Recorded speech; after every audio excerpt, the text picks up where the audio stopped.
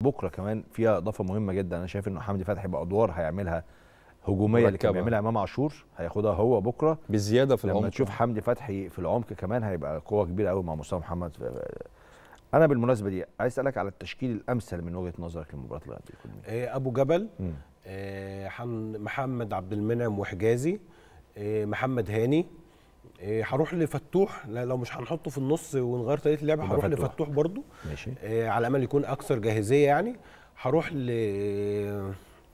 نص مروان طبعا. آه، وهحط معاه آه، حمدي فتحي؟ إن- لا أنا بحط مهند لاشين ماشي. عشان امن أكتر واحط النني. ماشي. أنا عايز يعني التشكيل يبقى دفاعي أكتر شوية. ماشي. وقدام آه، هحط اختار تريزيجيه وعمر مرموش ومصطفى محمد. حلو. دي جديدة دي. ماشي. ماشي. محمد أبو جبل محمد هاني أحمد حجازي محمد عبد المنعم محمد حمدي. ماشي. مروان عطية محمد النني آه حمدي. حمدي فتحي أحمد سيد زيزو مصطفى محمد عمر مرموش. تريزيجيه ما ينفعش أخسره.